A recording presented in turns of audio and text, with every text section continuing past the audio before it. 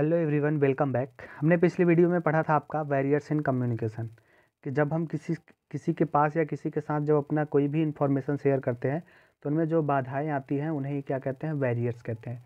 हमने पिछली वीडियो यही बात किया था, बैरियर्स क्या होता है, कितने टाइप्स के होते हैं, सारे डिटेल्स हमने पढ़ा दिए हैं। उससे जो भी क्वेश्चन पूछेंगे, यह भी बता दिया गया है तो जो लोग अभी उस वीडियो को नहीं देखे हैं, इस वीडियो के डिस्क्रिप्शन बॉक्स में उसका लिंक दिया गया है, आप लोग उसे देखिए। नहीं तो प्लेलिस्ट में जा कर के आप लोग उस वीडियो को देख सकते हैं, ठीक है? और आज का जो टॉपिक हमारा होने वाला है, वो है modern tools of communication lesson number six है। मॉडर्न टूल्स ऑफ़ कम्युनिकेशन आज हम इसके बारे में बात करेंगे। फिर एक चैप्टर और बच्चे का लास्ट उसको हम पढ़ के क्या करेंगे? ये कम्युनिकेशन ख़त्म कर देंगे। और फिर उसके बाद जितने भी इम्पोर्टेंट क्वेश्चन है, आपको एक दो दिन में क्या है कि सारे इंपॉर्टेंट क्वेश्चन दिए जाएँगे, जिससे कि आप लोग करके हमें क्या कर सको, दिखा सको कि हाँ हम कितना पढ़ रहे हैं।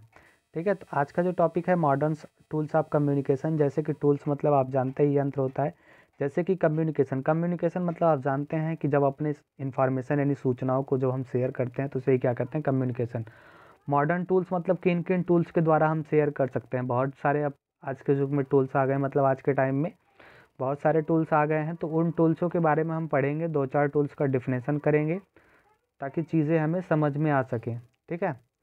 पहला, अब इसमें लिखा है, करें in the modern technical world कह रहे हैं कि यह जो संसार है मॉडर्न टेक्निकल वर्ल्ड का है। We have many updated latest tools of communication in our hands कह रहे हैं कि हमारे हाथों में क्या है, बहुत ढेर सारे नए नए टूल्स आ गए हैं।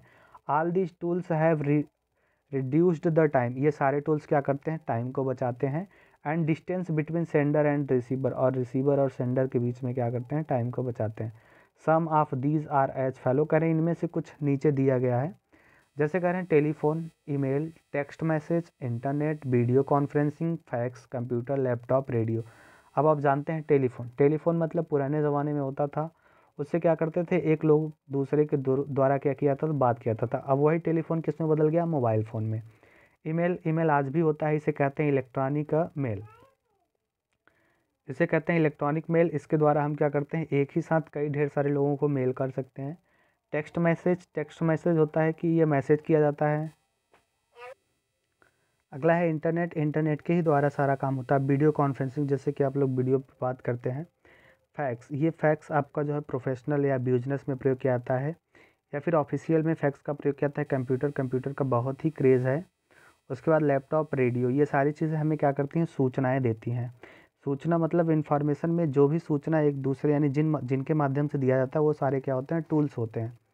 पहला आपका टेलीफोन है correct telephone is even more personalized than the channels previously mentioned कह रहे हैं कि जो टेलीफोन है, वह पहले के द्वारा अब क्या है? ज़्यादा व्यक्तिगत हो गया है ना? पहले जितना मेंशन किया गया था, उससे ज़्यादा पर्सनलाइज मतलब व्यक्तिगत होता है कि उस पहले के चैनल के द्वारा अब क्या है? ज़्यादा व्यक्तिगत हो गया है। द टेलीफोन इंस्टेंटली अलाउज कह रहे हैं जो टेलीफोन होता है, वो तत्काल क्या करता है, हमें अलाउ दे देता है, यानी कह रहे हैं कि हमें अनुमति देता है। बहुत द पार्टीज़ दोनों पार्टीज़ को, दोनों पक्षों को टू हीयर द टोन्स यानी स्वरों को सुनने के लिए एंड इमोशंस और कह रहे हैं कि भावनाओं को समझने के लिए and is possibly the most use communication tools और कह रहे हैं कि ज़्यादातर यूज़ करने वाला क्या है, यही टूल्स है।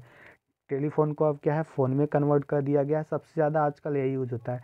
आप कंप्यूटर्स लैपटॉप कम यूज़ करते हैं, लेकिन इसका ज़्यादा प्रयोग करते हैं। अगला है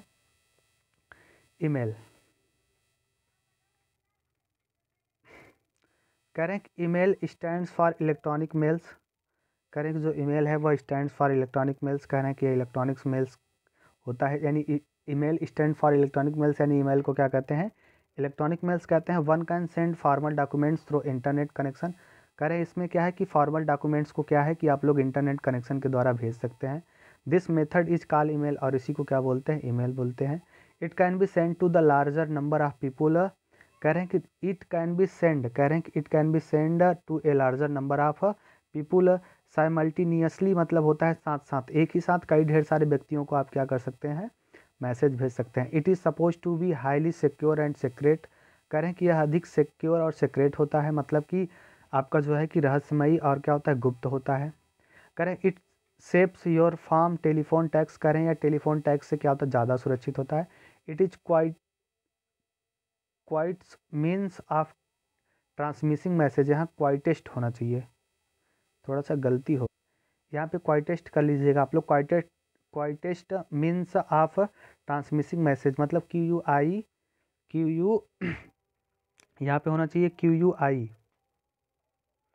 Q U I C K E S T quietest मतलब जल्दी से, तेज़ी से करें। ट्रांसमिसिंग मतलब मैसेज को क्या करता है? सेंड करता है। और कह रहे हैं कि through the email connection can be made over very large distance using the public telephone network or radio radio links कह रहे हैं कि जो पब्लिक यानी सार्वजनिक टेलीफोन है और रेडियो लिंक्स है, कह रहे हैं कि इसके द्वारा कह रहे हैं कि जो मेल है, इनकी अपेक्षा क्या है कि ज़्यादा दूरी तक क्या है कि जो मेल है कनेक्शन बना सकता है।